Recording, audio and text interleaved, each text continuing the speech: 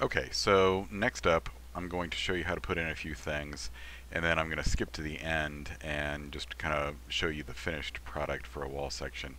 So first thing I'm going to do is actually to um, change my view style. I'm going to click on the display options here and change that to hidden line because in reality we would never print a set of architectural drawings in color because that's too expensive. So um, what we would do instead is print them in black and white, so we got that taken care of. So now, um, I'm actually going to start at the top and work my way down this time. And let me show you where I'm headed first. Um, the top of your wall section should look like this, and these are all detail components, right? So um, I've got a gutter section, that's a detail component.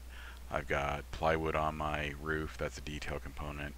I've got shingles, um, the insulation in the attic, and then I just used lines to represent the ceiling joists. These two 2x6s you've already placed, and then I placed a drywall section there as well. So, that's where we're headed. So, let's start putting in some detail components. I'm going to um, eventually turn off this roof in this view. So I want to put a line there just so that I know where my overhang is supposed to be. So I'm going to go to Annotate, uh, Detail Line, and then I'm just going to draw...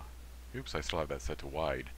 So let me do that again. Detail Line, let's make that uh, fine, I guess and just draw it there click modify to get out of that command and just extend it up. That way when I eventually um, turn off this roof I'll know where this is supposed to be. I'll be able to hide that line later. Uh, but it's just a reference so reset that roof. So next up I want to um, place the components that make the roof. So I'm gonna start with the plywood. So uh, detail component and see what we've got here.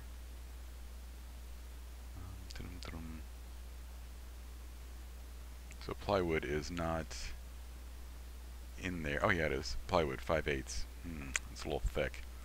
Um, but I'm going to go with it. Let's go ahead. And I'm just going to draw that uh, beyond my window again. Oops. Looks like it's not quite lined up. So let's do that. There we go. A little more careful drawing. And then shingles. Let's see if shingles are in there. Shingles, yes. So, oh boy, those need to. Uh, hmm, okay. So let's go ahead and place one, and then click Escape a couple of times to get out of that command. I'm going to rotate it so that it's parallel to the roof. So I click the shingle to select it, then I click the Rotate tool and I'm going to move my point of rotation down to the bottom of the shingle and then I'm going to click a second time to start the rotation and then just bring it down to where it highlights and it's even with the roof. Then I'm going to use the arrow keys on my keyboard to move it up some and not really happy with that. So I'm going to rotate it just a little bit more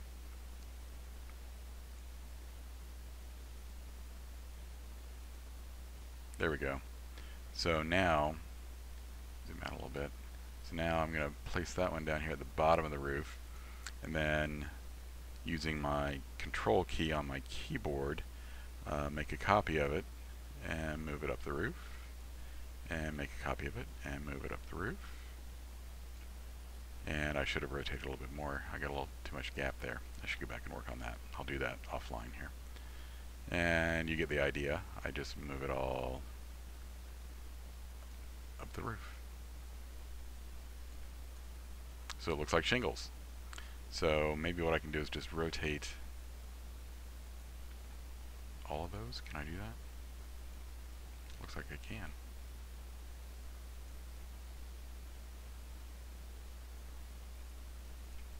Wow, looks pretty good.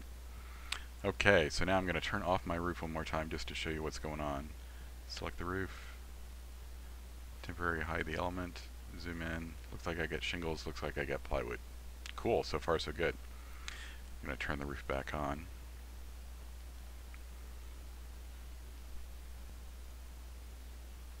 Okay, so one of the things we have to do is to correct the relationship of the roof to the wall before we get too many detail components in here. So what I'm going to do is offset the roof down from the level because what it does automatically is to place that edge, the bottom edge of the roof, on the outside face of the wall. And I want a different relationship here, so I'm going to um, measure the distance from top of the wall there up is 3 and 5 eighths inches when I hit the bottom of the roof. So what I'm going to do is select the roof and give it a um, base offset from level of negative negative 3 and 5 eighths inches and then take out the extra numbers here and say apply. There we go.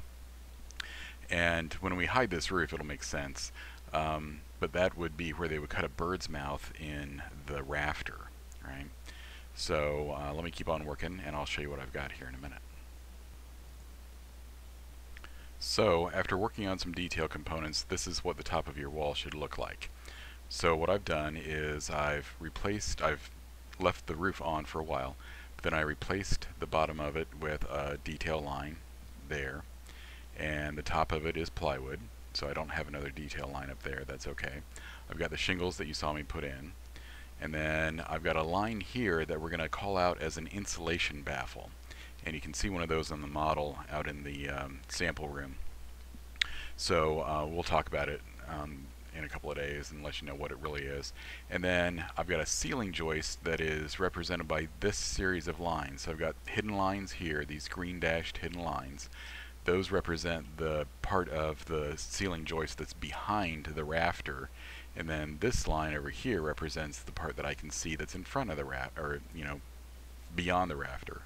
Not sure exactly how to say that. Um, some gypsum wallboard section there and there and then insulation like you already did. Um, I drew the plywood that would be the soffit. I didn't bother to ventilate it um, but plywood for the soffit um, 2 by 10 for a subfascia and then a gutter on the outside. And that gets us pretty close to a decent wall section. So now I'm going to uh, go ahead and put the labels on it and the way I'll do that is um, actually I should do that in the next video give you a different chunk